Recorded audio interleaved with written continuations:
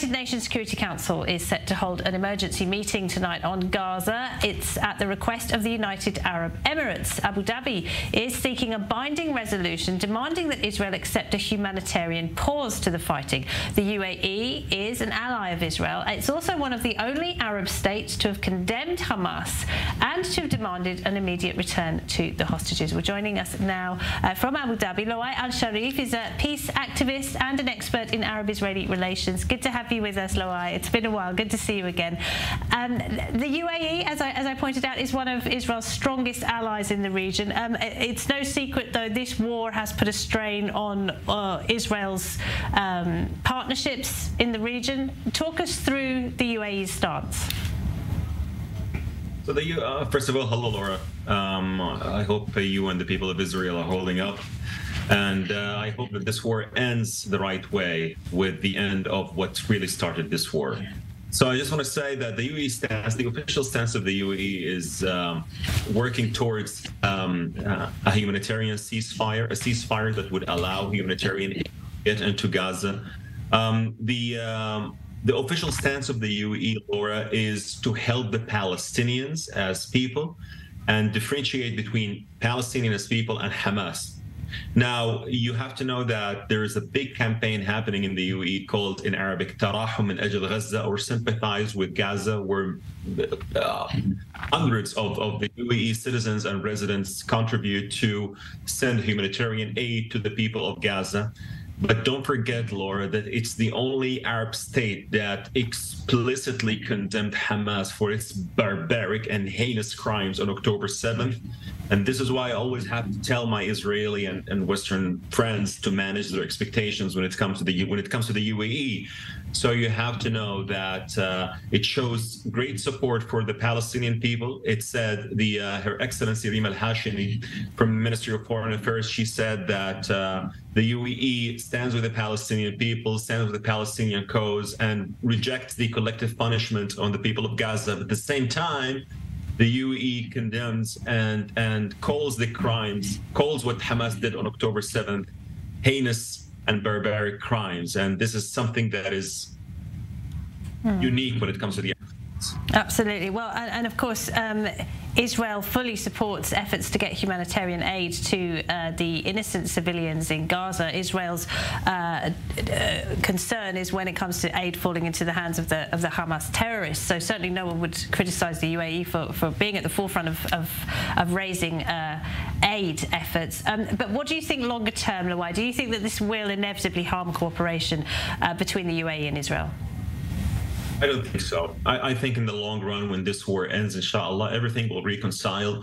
The Arab and Israeli relations will reconcile. Muslim and Jewish relations will reconcile. Uh, you know, you know, Laura, people deep down, uh, decision makers and people who are wise enough in the Gulf, they know that this war is ugly. This war is unnecessary. This war could have been avoided. This war sparked when um, Hamas militants uh, broke into Israel, mass murdered uh, 1,400 uh, uh, innocent people and civilians. And to be very honest, this war uh, wasn't really. There is no purpose for this war. And and if you if you noticed, Laura, um, a couple of weeks before this war, a couple of days even before this war, Saudi Arabia was talking about normalizing relations with Israel, and the crown prince was talking about bringing uh, uh, concessions to the Palestinians. So everyone was working towards uh, a betterment uh, for the Palestinians, but unfortunately, Hamas blew it up. I personally believe that the two-state solution is is dead. Its death certificate was signed on October 7th. That's my personal opinion. But I believe in the long run, when this war ends, things will reconcile in the Middle East because the future of this region, Laura, the future of our region is stability, thriving, and prosperity. And we cannot allow those who believe in, in bloodshed to win. Allah, they will not win. And, and Loay, of course, you've always been an advocate for cooperation between Jews and Muslims. Uh, you speak Arabic and Hebrew, of course. You, you, you know, you, you've read uh, so much about the issue. You really are a scholar on, on uh, Jewish and uh, Islamic history. Um, we've seen a, a, a, real spike in anti-Semitic incidents and attacks around the world. Um, uh, what, what do you think can be done about that, particularly in the Arab world? Very unfortunate, but what needs to be done about it is education. You need to teach people more about um, the commonalities between Jews and Muslims. I always say this, Laura, by the way. I understand where these people come from because one day I was in their shoe. I was raised this way to be anti-Jewish, anti-Semitic, or standing against the Jews. But you know, when when you get to know the Jews, when you get to know Judaism, when you when you educate yourself, you would really change. So education is the key. Education is a very important thing to to play.